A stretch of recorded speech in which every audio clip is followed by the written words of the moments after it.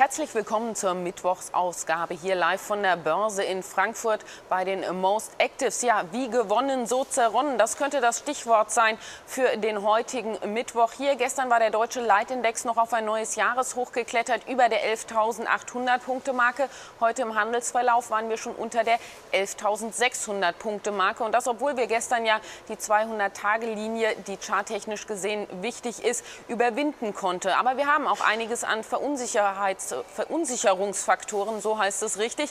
Ja, das eine ist natürlich der kräftige Verlust bei der Bayer-Aktie. Das kostet heute Kraft, weil sie nun mal ein Schwergewicht ist. Äh, und äh, beim äh, DAX auf der anderen Seite haben wir aber auch Medienberichte über mangelnde Fortschritte zum Thema Handelsstreit zwischen USA und China. Das Thema Brexit einmal mehr im Fokus, denn ja, da hat May jetzt tatsächlich eine Verschiebung angefragt und beantragt bis zum 30. Juni. Nun ist die EU am Drücker und und dann haben wir aber auch noch die FED-Leitzinsentscheidung. Und da hofft man natürlich auf taubenhafte Töne. Werfen wir einen Blick auf die meistgekauften Werte beim Online-Broker FedEx. Und haben wir an Platz 1 heute eben die Aktie von Bayer, gefolgt von Wirecard, der Deutschen Bank, Daimler und Eichstron. Werfen wir einen Blick auf Eichstron genauer. Da hat es gestern das Papier einen Erholungsversuch gestartet nach einem positiven Analystenkommentar von der Deutschen Bank. Da hat man nämlich die Kaufempfehlung bestätigt bestätigt und das Kursziel von 14 Euro rausgegeben.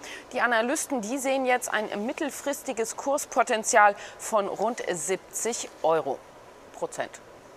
Wirft man einen Blick auf die meistverkauften Werte, haben wir an Platz 1 Wirecard, gefolgt von Bayer, Aurora Cannabis, E.ON und äh, Fresenius. Ja, und äh, Bayer, das ist das große Thema. Da hat man nämlich eine herbe Schlappe in einem Teilprozess um angebliche Krebsrisiken des glyphosathaltigen Unkrautvernichters Roundup in den USA hinnehmen müssen.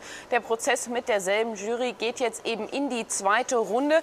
Und äh, die Wahrscheinlichkeit, dass Bayer diesen Prozess nun verlieren könnte, der ist jetzt einfach gestiegen. Die Kosten für eine Beilegung der Rechtsstreitigkeiten als auch Schadensersatzzahlungen, die könnten somit deutlicher steigen als äh, zuletzt erwartet. Und äh, das ist eben in der Bewertung der Aktie bisher nicht äh, berücksichtigt. Die Aktie daraufhin heute mächtig unter Druck, zwischenzeitlich ja, im äh, zweistelligen prozentualen Bereich im äh, Minus unterwegs. Eine zweite Aktie, auf die wir aber auch noch schauen, ist Aurora Cannabis. Und nachdem die Aktie über die wichtigen charttechischen Widerstand bei 11 kanadischen Dollar gestiegen ist, kennt die Aktie zuletzt kein Erhalten mehr. Nun steuert die Aktie auf das Hoch von Oktober vergangenen Jahres bei 16 äh, kanadischen Dollar 24 zu. Beflügelt wurde der Wert vor allen Dingen zuletzt von zwei Dingen. Zum einen massiven Kaufempfehlungen und zum anderen durch den Einstieg des US-Milliardärs Nelson Pelz.